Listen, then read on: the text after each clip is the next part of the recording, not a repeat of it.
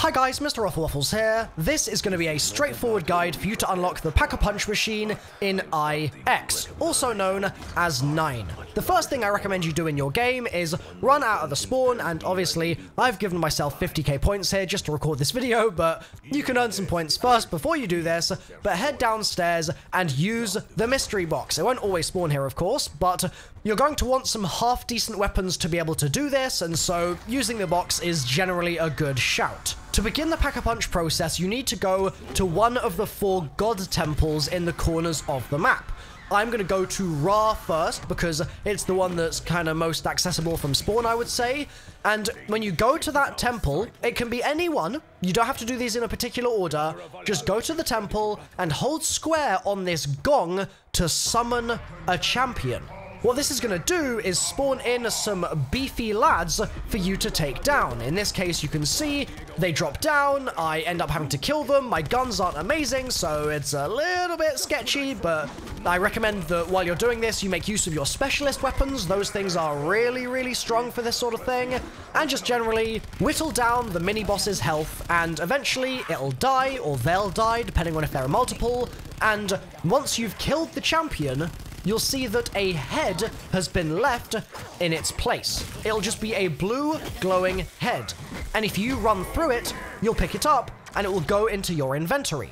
Next, we're going to go over to Danu's temple in this game, but again, you could go to any of the three gods that you haven't done at this point, and we're going to start the process again. We're going to hold square on the gong, we're going to summon a champion by doing so, we're then going to kill the champion, and the champion, after a little bit of a fight, will drop us another blue glowing head. Two out of four. Now time to rinse and repeat the same process a third time. This time, because I've obviously done Danu and I've done Ra, I need to go under the map to get to the other two god temples, so I'm going to do exactly that. I'm going to go past the pit, I'm going to end up going up and going into my third temple. Same process, just like I said. Hit the gong, summon the champion, take the champions down. And by the way, there won't always be big, beefy, brutey boys. Sometimes they'll be tigers. So make sure you're ready for that eventuality as well. Don't get caught by surprise when it's tigers instead of the big, fat gladiator lads. Then we're going to go over to our final temple. We're going to do the exact same thing again and get our fourth and final head. So far, this has all been pretty easy, right? Well, this is actually kind of the end of the process. All you've got to do now is go downstairs again into the pit area of the map and then find an entrance to the temple. Now, if you see one of these big wooden doors that's shut, don't worry, that's something that we don't need to worry about right now because you can find another opening by just going around the outside of that central temple area. Eventually, you'll find an opening, you can go in, go into the center of the room, and hold square to feed the altar here the blood of the champions that you have just slain.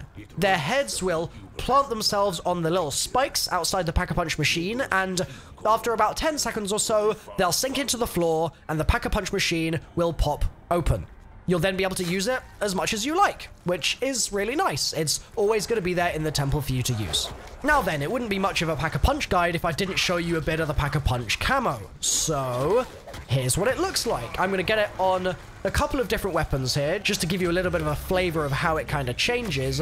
And I'm also going to use a couple of different double pap abilities, which are the same in all the Black Ops 4 Zombies maps, to be fair, but I figured I'd just show them off a little bit for you anyway, to give you, again, a bit more of an insight into how it's all going to look as part of this particular map's aesthetic. Generally, if you're wondering about advice for what's more powerful than other things, I'm a big fan of Brain Rot, just because that zombie that you transform into one of your teammates can end up killing quite a few other enemy zombies, but there is quite a long cooldown on it, so it's a little bit of a double-edged sword. However, I'd say the majority of the double pap effects in Black Ops 4 have long cooldowns. There's nothing like Black Ops 3, which is a shame. You feel much less powerful because of it, but it also means that the game is a little bit more balanced. So, again, double-edged sword, but I'm sure you guys have your opinions about which you think are the best and which you think are completely trash in this game as well. And if you do, then let me know in the comments down below.